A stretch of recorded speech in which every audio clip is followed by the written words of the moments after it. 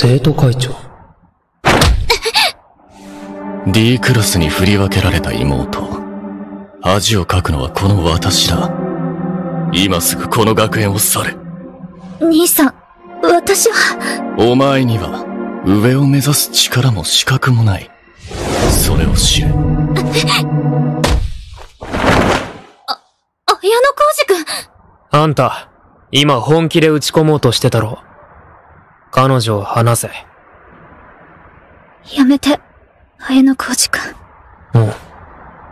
そういう声は初めて聞いたな。ぶね。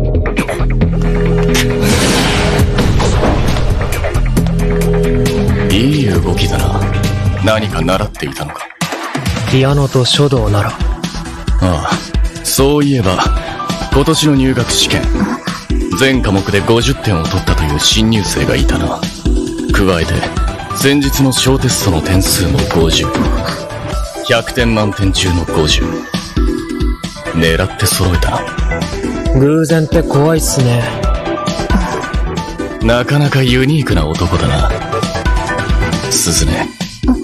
お前に友達がいたとは、正直驚いた。彼は、友達なんかじゃありません。ただのクラスメートです。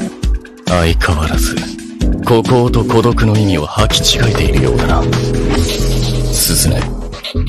上のクラスに上がりたければ、死に物狂いであがけ。